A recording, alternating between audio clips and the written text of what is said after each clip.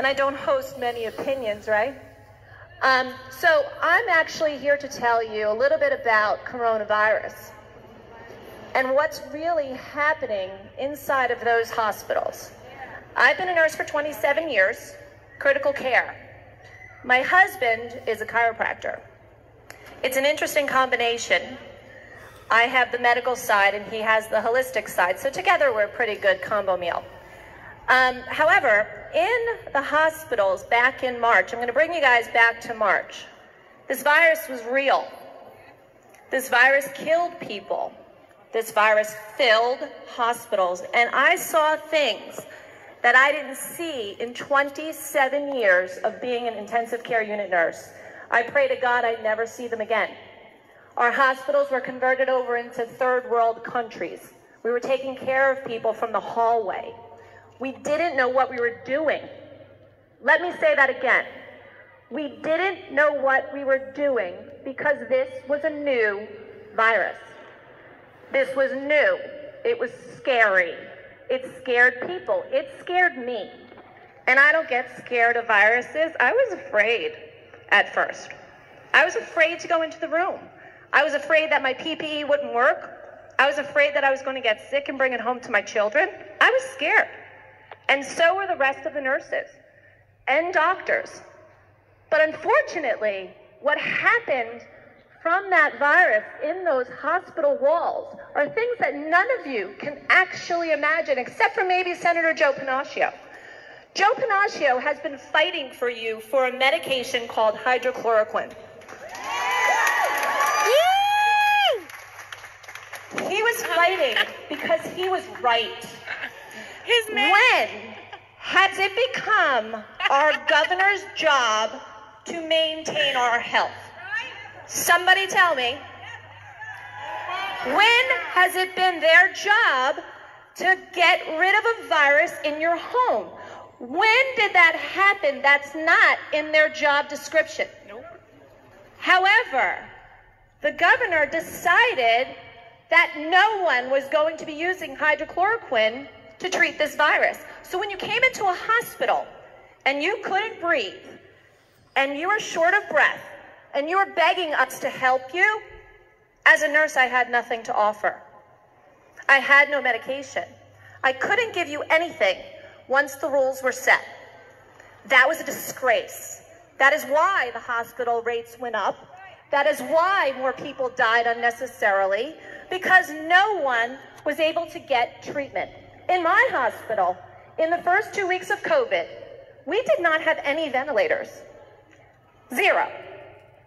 Other hospitals were full, and I couldn't understand what was going on. I was like, wait, do we just have a healthy population around here? Like, what's going on? Then I came to find out that our emergency room physician, when you first came to the hospital, they would swab you for COVID and give you hydrochloroquine within minutes. What does that say? Is Facebook going to make me disappear now too? Because it worked when it was used early. It worked, I watched it.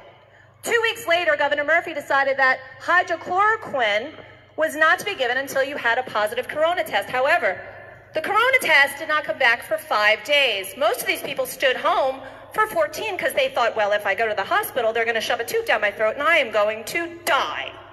So they stayed home. They got sicker. They didn't look for treatment. And then they came to the hospital and we had to do nothing for five days. So when people say, oh my God, when you went to the hospital, all they did was put you on a ventilator, that irritates the crap out of me. You know why? Because it's just not true.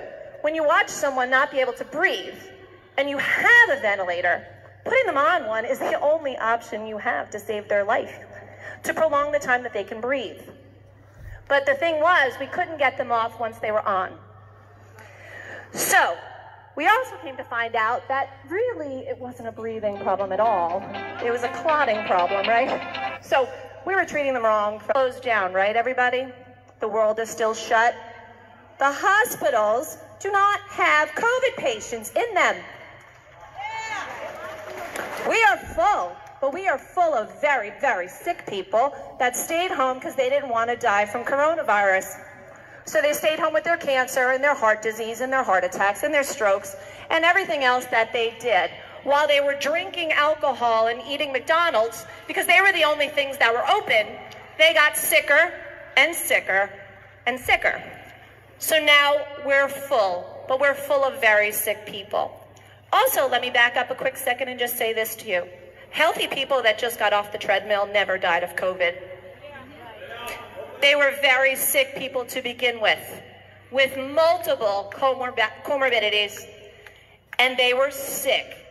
Did you know that kids are not affected by this, other than maybe a sore throat and a fever?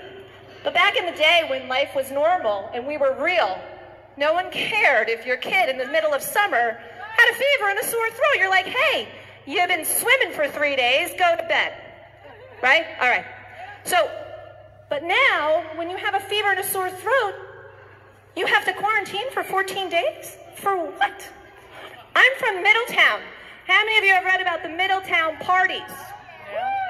My son and his friends and all of my town are all in that town as well. My children are there. Do you know these children that tested positive for coronavirus? None of them are sick.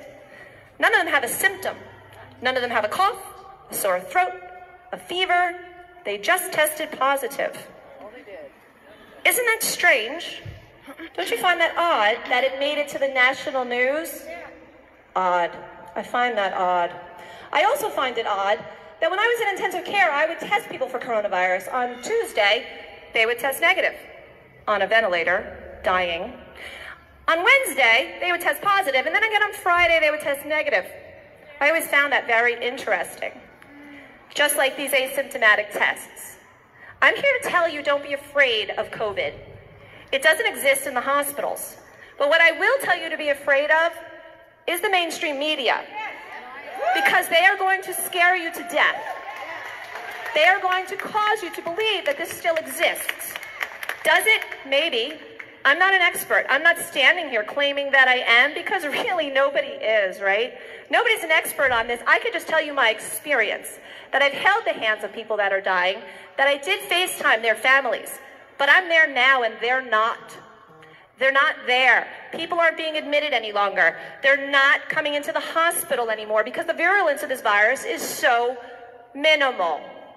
Sore throat and a fever of 101 for 12 hours? Okay. Are you aware that in the state of New Jersey, two children have died? My hospital converted our pediatric unit in the height of the virus to an adult intensive care unit because there were no children that had this virus that needed to be admitted. No kids. So we need to let these children get back to normal. Yes. Woo! They need to go back to school. They need to be with their friends because their healthy immune systems are going to survive this. One last note that I will say, and I'll kind of uh, say it after Dr. Schubel. You need to be in control of your own health. Yes. If I'm going to stand here in front of you, I'm going to teach you one thing.